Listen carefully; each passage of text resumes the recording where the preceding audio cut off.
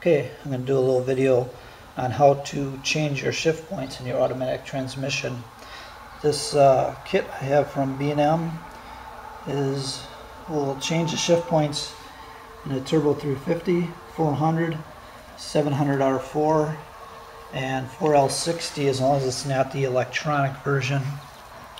What you get in the kit is a set of weights and springs and you take out your governor out of the transmission and you change the weights heavier or lighter depending on which way you want to uh, go with the shift point to uh, raise the shift point so say 4000 or 4500 up to 5000 or higher.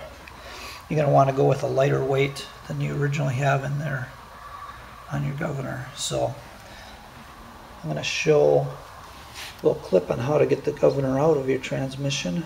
Okay, this is the car I'm working on today. It's a 76 Pontiac Ventura that I swapped a uh, 92 Camaro engine and transmission into.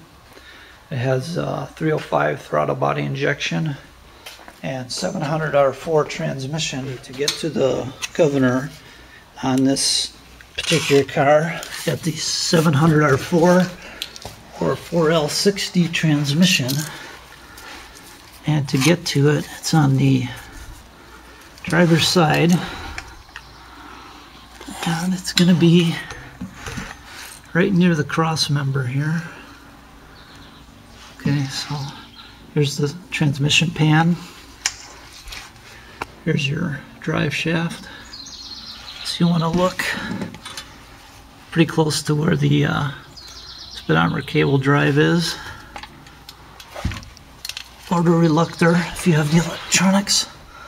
And there's going to be a round kind of cover. That's it right there. So what you want to do, some of them have a clip on it, some don't. This one's just pressed in, no clip. It's a 92 Camaro transmission. So you want to pop that off with a screwdriver. Your governor will be right under there. So you're going to want to get a uh, a pan and possibly some cardboard to put down to catch any uh, transmission fluid that leaks out. not much will leak out, maybe you know half a cup. Okay, I've got the cover off now, and I had a pretty pretty hard time getting this one off.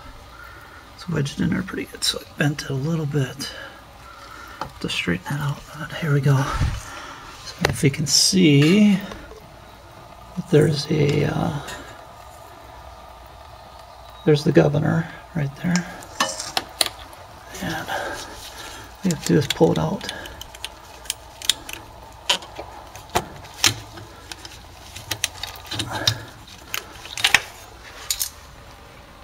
Okay, now that I've got the governor out, all you have to do is uh, trim these pins off. Just clip these off with the nippers.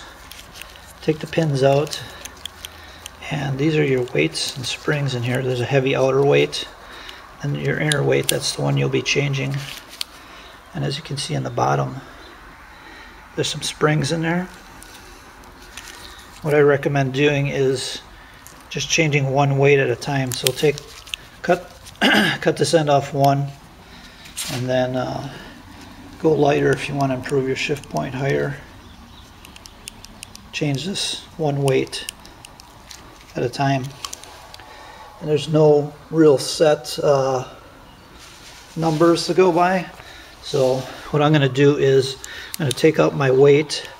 I'm going to weigh it on a scale and then I'm going to weigh these particular weights that came with the shift kit. And uh, I'm going to put in one that's a bit lighter and then we'll have to test drive the car to see where what changes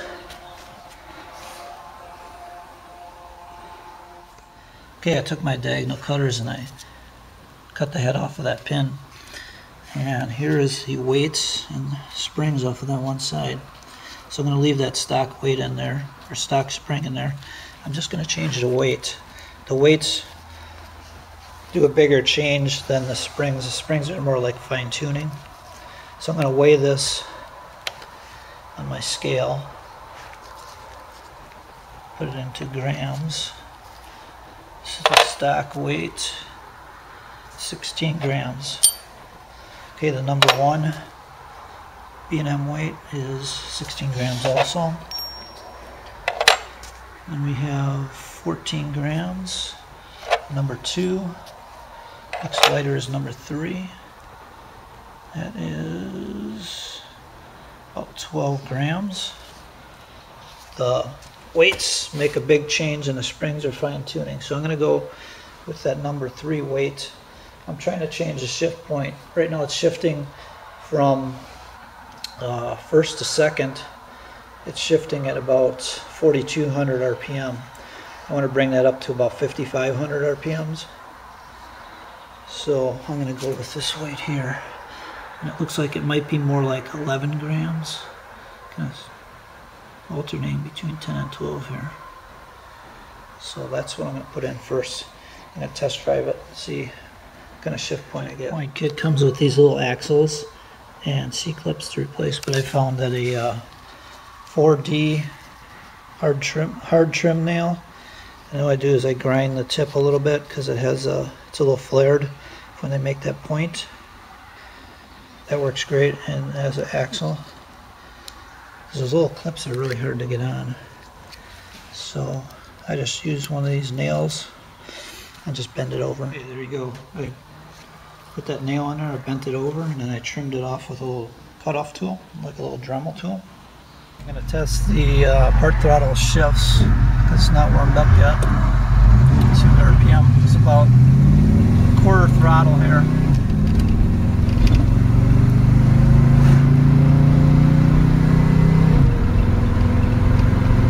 I'm going to ease up on it a little bit. Get fourth gear. So I'm going about 60 now. The uh, full throttle shift point test.